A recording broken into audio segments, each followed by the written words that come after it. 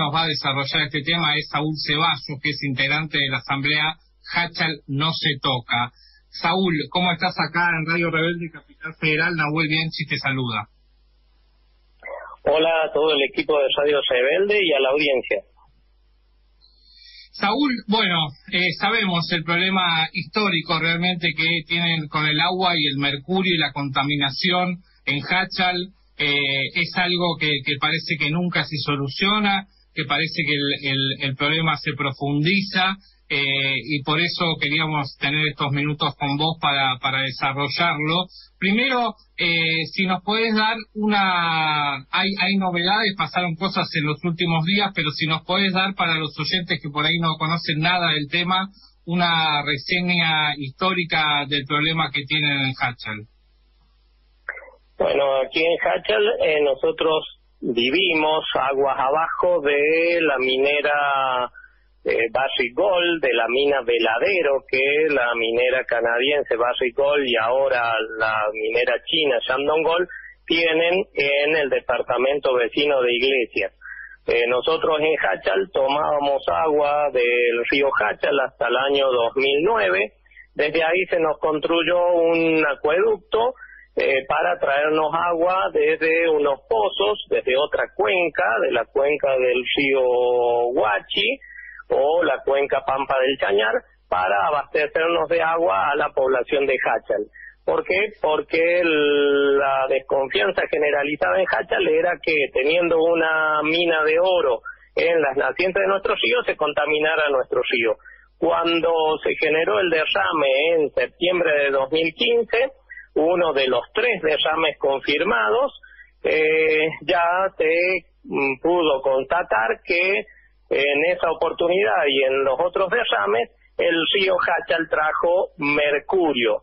El mercurio nunca había estado presente en el río Hachal, sino que desde que llegó esta actividad megaminera y se generaron los, los derrames, eh, es que el río Hachal se contaminó con mercurio. ¿Cuál es el problema? Ya hace un tiempo atrás, eh, a mediados del año pasado, nosotros detectamos que las antiguas piletas de OCE, que es el organismo que nos da el agua potable acá en la ciudad de Hachal, que se usaban con eh, la potabilización del agua del río Hachal, habían vuelto a ser usadas. Entonces, eh, desde la Asamblea Hachal no se toca, iniciamos una serie de eh, investigaciones por nuestro por nuestra cuenta y con nuestros medios para poder detectar qué es lo que pasaba. Y terminamos descubriendo que nos habían estado mezclando el agua del río Hachal que ya no se utilizaba para consumo humano habían vuelto a utilizarla mezclándola con agua de buena calidad el agua que nos traen de un acuífero que está a 22 kilómetros hacia el norte de la ciudad de San José de Hachal. Por eso hicimos una denuncia eh, judicial en noviembre del año 2020 y en diciembre eh, del año pasado reforzamos esa denuncia con una presentación judicial en donde eh, ponemos justamente al juez en eh, la obligación de llamar a testimonio, eh, a dar testimonio a los funcionarios de OCE y a los funcionarios del departamento de Hachel. Sí, eh, hasta, hasta ahí vamos, entonces no hay duda de lo contaminante que es el mercurio en, en, en un río. ¿Qué se sabe hasta ahora de, lo que puede llegar a producir el mercurio en, en, el agua y digamos después en los seres humanos. Bueno, hay un informe del año 2008 del Ministerio de Salud de la Nación en donde eh, expresa claramente que la exposición al mercurio ha sido asociada con efectos eh, tan disímiles como infartos de miocardio, autismo, friomalgia, síndrome de fatiga crónica, lupus, demencia, mal de Parkinson, Alzheimer, esclerosis, cuadros neurológicos y renales. Eh, lo grave de, todo esto es que nosotros en, en Hachal eh, en la población de Hachal se ven en forma manifiesta diversas enfermedades mencionadas en ese documento como autismo, lupus, demencia, mal de Parkinson, Alzheimer, esclerosis múltiple y otros cuadros neurológicos y renales.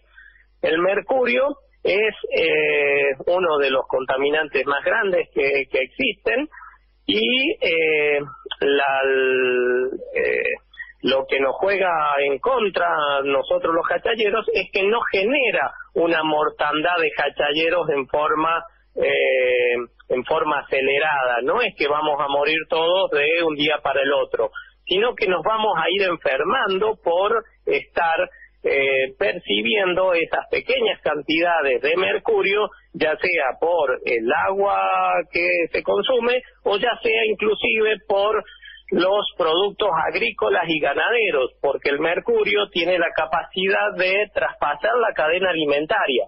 Es decir, que del agua pasa a las verduras que se cultivan con esa agua y se acumulan en esas verduras. Y luego eh, pasan al ser humano que consume esas verduras acumulándose en el cuerpo humano, igual que con los animales eh, de granja que eh, luego son carneados para consumirse.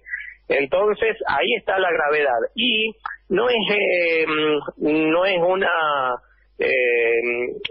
no es algo que nosotros reclamemos, sino que ya tenemos en la historia de la humanidad tenemos el caso de eh, la bahía de Minamata, en Japón. Allí, eh, desde los años 1920, 1930, hasta eh, la década de 1950, se estuvo contaminando la población de Minamata con mercurio por consumir peces que eh, em, absorbían mercurio de una industria que estaba tirando esos residuos en la bahía de Minamata. El, ¿Cuál es el problema? Que a lo largo de 30, 40 años se estuvieron contaminando y luego ya, eh, ya no hay nada que hacer en la salud de esa población. El problema es que eh, la población que se contamina con mercurio ya tiene graves, graves eh, problemas en el sistema nervioso central y que produce estas enfermedades que les acabo de, mencionar. Saúl, eh, ahora sí, vamos a, la lucha hoy en día. Eh, ¿Qué es lo que están haciendo? ¿Qué es lo que está pasando hoy? En diciembre tuvieron, tuvieron días movidos, ¿no? Sí, sí, sí, sí. Eh, se generó justamente porque hay una escasez de agua en forma creciente, em, eh, dado por las condiciones climáticas, pero ayudado por la megaminería que destruye y sigue destruyendo eh, glaciares. Eh, a raíz de eso hubo cortes de, calles por la falta de agua en diversos lugares de, de Hachal y se produjo lo que eh, lo que acá en San Juan, por desgracia, estamos acostumbrándonos, que es la criminalización de la protesta social, o sea, eh, personas que estaban em, eh, pidiendo por agua, por el acceso al agua, eh, se los detuvo y se los tuvo retenidos durante toda una noche o durante todo un día.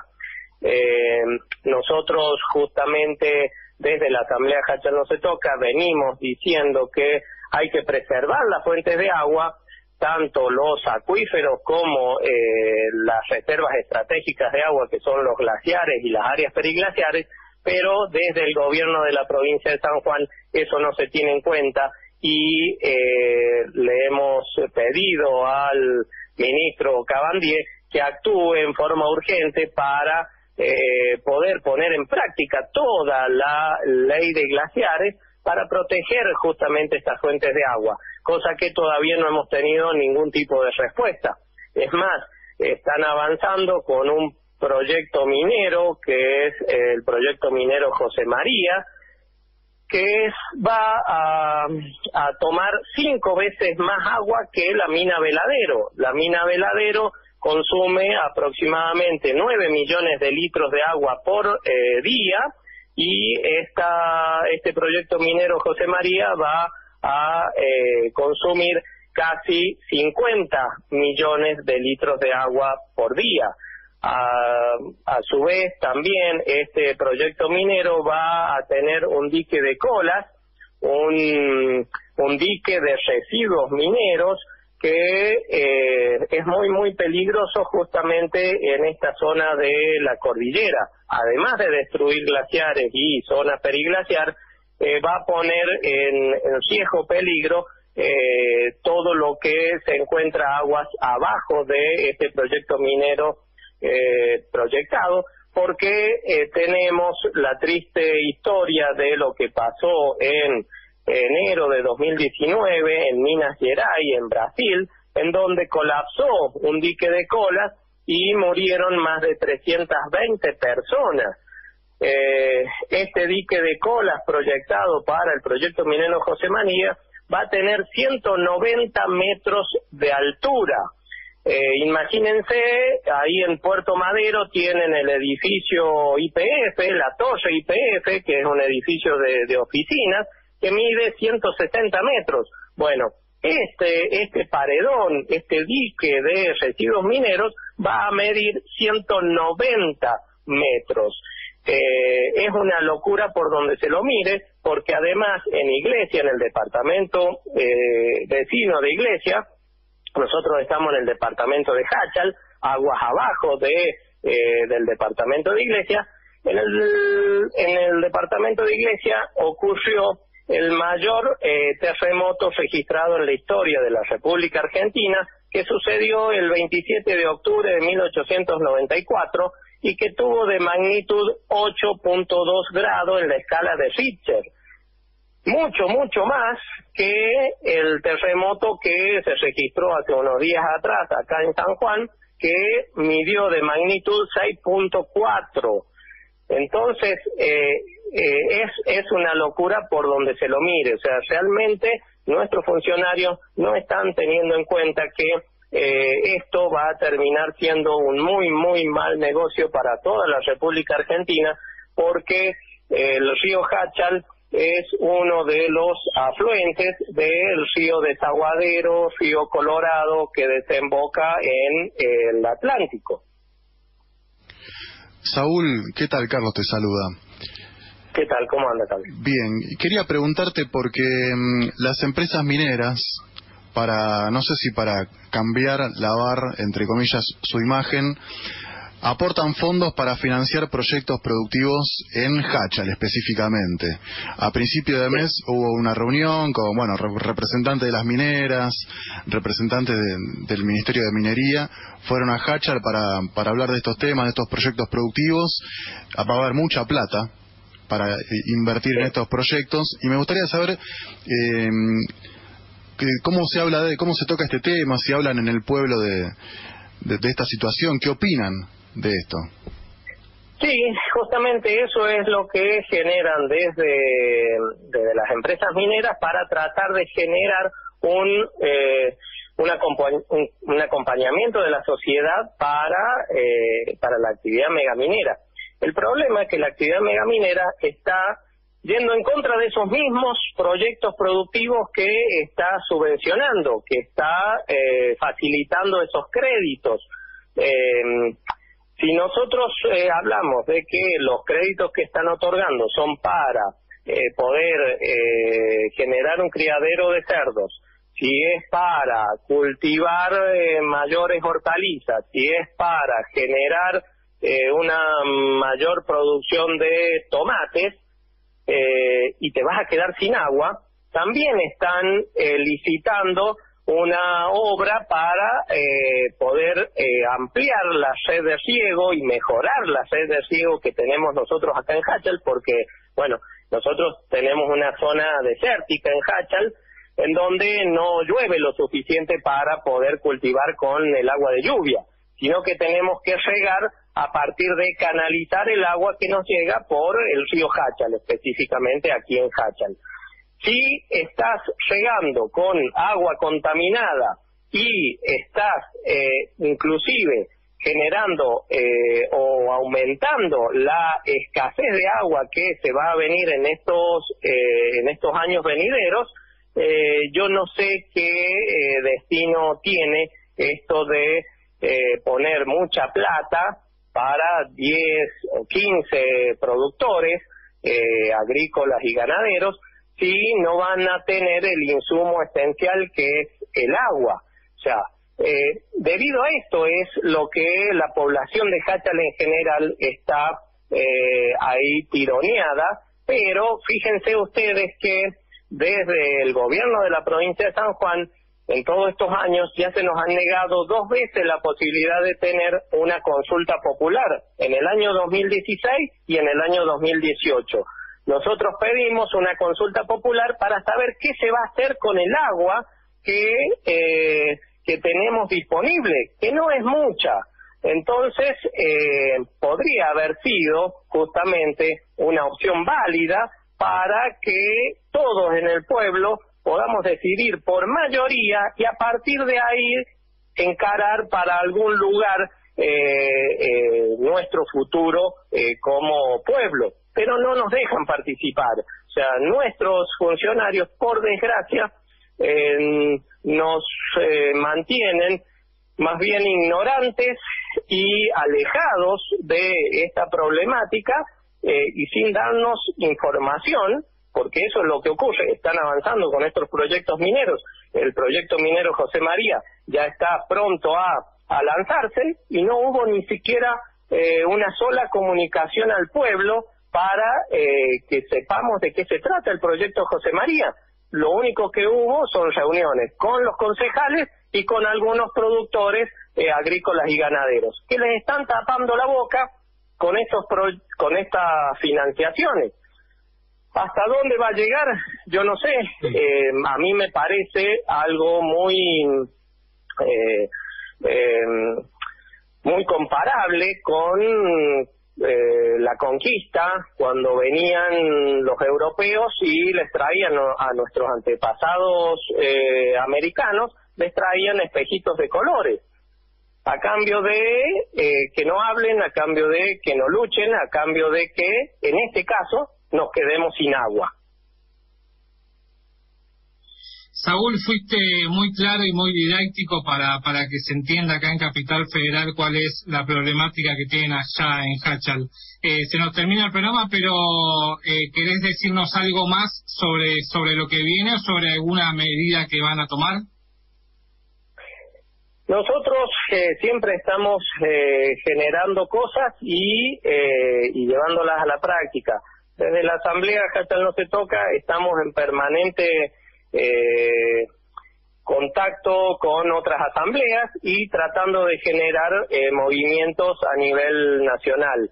está forjándose eh, una marcha eh, plurinacional por el agua para el 22 de marzo de este año. Así que bueno, esperemos poder colaborar desde la Asamblea Jatal No Se Toca con una partecita de esta marcha y generar así una concientización de que sin agua el, el, ser humano, todo el ser humano, eh, pierde la dignidad en pocos días. Eh, nosotros lo vivimos eh, bastante seguido por acá en Hachal y cuatro o cinco días eh, sin agua uno hace que ya deje de pensar en todo lo otro actividades que uno tenía por hacer, sino que se vuelque únicamente a conseguir agua. ¿Por qué? Porque pierde, el ser humano pierde su dignidad. Así que bueno, eh, muy, muy agradecido por interiorizarse de estos temas y eh, un saludo grande para todo el equipo y la audiencia. Abrazo grande para vos, para vos Saúl. Eh, seguimos en contacto para lo que quieras. Bueno, muchísimas gracias.